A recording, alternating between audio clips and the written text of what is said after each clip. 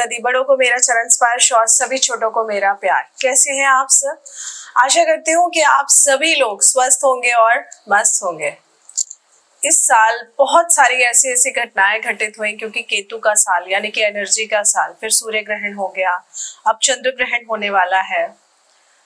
शरद पूर्णिमा के दिन चंद्रमा पृथ्वी के बहुत ही निकट होता है और चंद्रमा की सोलह कलाएँ सोलह कलाओं की जो आभा होती है ना, वो पृथ्वी के प्रत्येक जीव को बहुत प्रभावित करती है। इसलिए शरद पूर्णिमा का हम सब बेसब्री से इंतज़ार करते हैं। शरद पूर्णिमा की रात चंद्रमा से निकलने वाली जो भी किरणें होती है ना, ऐसा कहा जाता है कि वो अमृत के समान मानी जाती हैं। और यही वजह है कि इस दिन लोग खुले आसमान के नीचे खीर बनाकर रखते हैं। ऐसा कहा जाता है कि उसमें चंद्रमा की अमृत वर्षा होती है।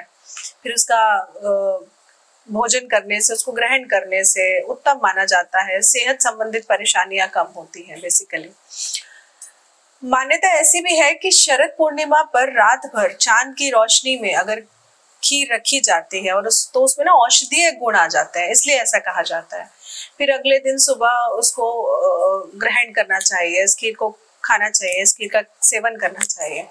ऐसे भी इस दिन खुले आसमान में खीर रखना सही होगा या नहीं, ये मैं आपको बताने आई हूँ, क्योंकि इस बार शरद पूर्णिमा पर है चंद्र ग्रहण जी हाँ चंद्र ग्रहण पड़ रहा है और मैं, आप ही में से कुछ लोग मुझे इधर उधर से लिंक उठाकर भी भेज रहे हैं और मेरे से सवाल भी कर रहे हैं कि, मैम, आप बताइए शरद पूर्णिमा पर क्या करना है? क्योंकि सब ऐसे बता रहे हैं, खीर बना के रखिए तो वो बढ़िया रहेगा, ऐसे करके रखिए तो वो बढ़िया रहेगा।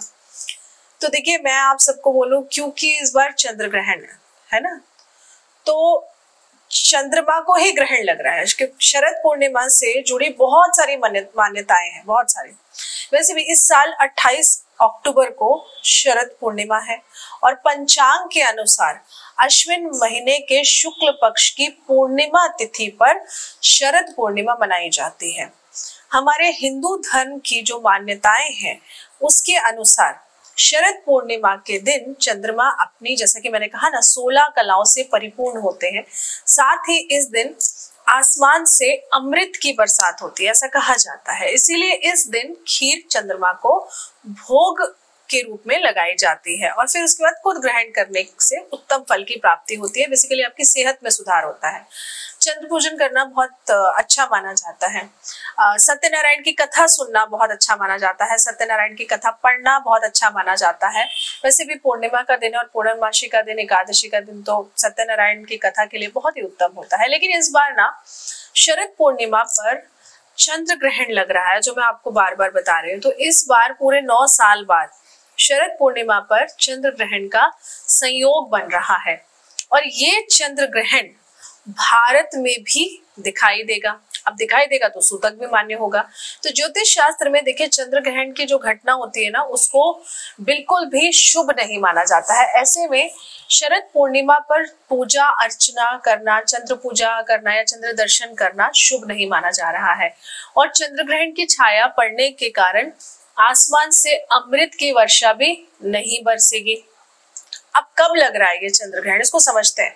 देखिए, ये चंद्र ग्रहण ना उनतीस अक्टूबर की रात को एक बजकर छह मिनट पर शुरू हो जाएगा और दो बजकर बाईस मिनट पर ये खत्म हो जाएगा।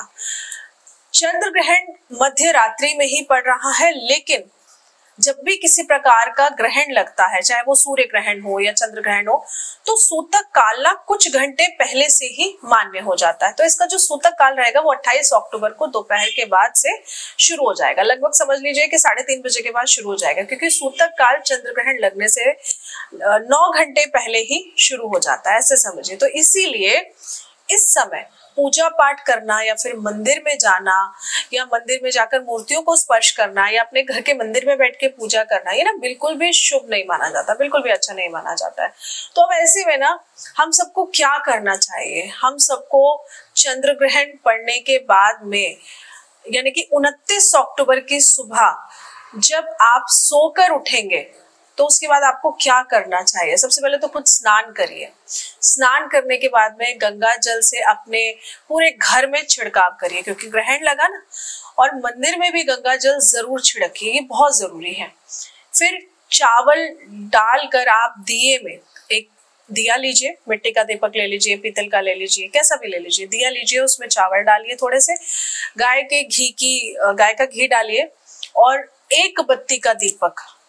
एक बत्ती का दीपक लगाकर आपने अपने घर के मंदिर में दीपक जलाना है। ये बहुत ज़रूरी है क्योंकि ग्रहण लगा ना नेगेटिविटी दूर करने धूप, अगरबत्ती जलाकर पूरे घर में उसकी उसकी खुशबू बनाइए। ये बहुत बहुत ज़रूरी है इस, क्योंकि देखिए, चंद्र ग्रहण लगा है तो इसके जो दुष् परिणाम है, वो आप सबके ऊपर ना पड़े, इसलिए मैं आपको बता रही हूँ। सबसे पहले तो देखिए, जब सूतक लग जाएगा ना तो आप उस समय कोशिश करिए कि सूतक लगने से पहले या सूतक के समय में बेसिकली ग्रहण लगने से पहले बहुत ज़रूरी होता है। तो आप सूतक के समय में भी या सूतक लगने से पहले भी आप कोशिश करिए कि अपने खाने की चीज़ों में तुलसी डाल दें। तुलसी के पत्तों को ज़रूर डाल दीजिए। इससे क्या होता है ना कि ग्रहण नहीं लगता है। आप ऐसे सोच के चलिए कि सॉरी ग्रहण लगता है तो आपके जो खाने पीने की वस्तुएँ जो बनी हुई है ना, उस पर उस ग्रहण का दुष्परिणाम नहीं आता है, दुष्प्रभाव नहीं आता है। तो ये बहुत ज़रूरी हो जाता है करना चंद्र ग्रहण से पहले। और उसके बाद में स्नान करके, जैसे कि मैंने कहा, अपने घर के मंदिर में आप पूरा घर में गंगा जल छिड़के धूप अगरबत्ती जलाइए, एक बत्ती का चावल डालकर, क्योंकि चंद्रमा को ग्रहण लगा है आप हमें उस चंद्रमा को अच्छा भी करना है। तो चावल डालकर आप दीपक जलाइए। ऐसा करने से इस ग्रह के ना, जो ग्रहण के दुष्प्रभाव है, वो आपके ऊपर नहीं पड़ेंगे। और माता लक्ष्मी की कृपा भी आपके ऊपर ज़रूर बनी रहेगी। तो बहुत छोटी सी चीज़ है करने के लिए, लेकिन करनी है। और इस बार देखिए शरद पूर्णिमा पर क्योंकि चंद्र ग्रहण लग रहा है तो ऐसे में चंद्र देव की कृपा प्राप्त करने के लिए आप जब ग्रहण खत्म हो जाएगा, यानी कि रविवार की मध्य रात्रि में, है ना, जब ग्रहण खत्म हो जाएगा तो रविवार की सुबह ज़रूरी हो जाता है कि आप जल्दी उठकर स्नान करें और स्नान कर कर शिव मंदिर में ज़रूर जाइए, क्योंकि चंद्रमा को अपने मस्तक पर किसने विराजमान कर रखा है? देवों के देव, महादेव ने। तो शिव जी के मंदिर ज़रूर जाइए। ये इसलिए याद दिला रही हूँ क्योंकि संडे है, छुट्टी का दिन है, आलस मत करिएगा। शिव मंदिर ज़रूर जाइए। शिव जी को आप जल में थोड़ा सा कच्चा दूध डालकर आज के दिन तो ज़रूर चढ़ाइए। बाकी के दिन चढ़ाए ना चढ़ाए, लेकिन आज के दिन डालकर आप भोले बाबा का अभिषेक ज़रूर करिए। फिर वहाँ जाकर के आप घी का दीपक भोले बाबा के समक्ष जलाकर ज़रूर रखिए शिव जी के सामने, क्योंकि शिव जी के सामने रखना मतलब चंद्र पूजन भी आपने कर लिया। तो ऐसा करने से भी चंद्र ग्रहण के दुष्परिणाम आपके ऊपर या आपके परिवार के ऊपर नहीं पड़ेंगे। और इसी तरीके से आपने एक दीपक अपने घर की दहलीज पर भी पितरों के नाम का ज़रूर लगाना है। ये पितरों के नाम का दीपक आप सुबह भी लगाएँगे और शाम को भी लगाएँगे, क्योंकि ग्रहण पड़ा है तो इस ग्रहण के जो है वो आपको दुष्परिणाम ना मिले, इसलिए ये कार्य करना ज़रूरी है। और जब आप शिव मंदिर जाएँगे तो आप कम से कम एक किलो चावल दान ज़रूर करके आइएगा, क्योंकि जब भी ग्रहण पड़ता है तो ग्रहण के बाद, स्नान के बाद दान का बहुत महत्व होता है। तो आप दान ज़रूर करके आइए। एक किलो चावल लीजिए और अपने घर के हर एक व्यक्ति से थोड़े थोड़े चावल उसी में दो दो मुट्ठी अगर घर पे आपके ऑलरेडी स्टॉक है तो आप हर किसी से बोलिए दो दो मुट्ठी या चार चार मुट्ठी चावल एक थैली में इकट्ठा कर लेंगे हर व्यक्ति और सबको एक साथ कलेक्ट करके फिर आप इसका दान मंदिर में ज़रूर कर कर आइए। क्योंकि ऐसा करने से ना, इस ग्रहण के दुष्परिणाम नहीं मिलेंगे। क्योंकि अगर इस ग्रहण के दुष्परिणाम आपको मिल गए, ऐसा हो गया तो आपकी मानसिक शांति खत्म हो जाती है।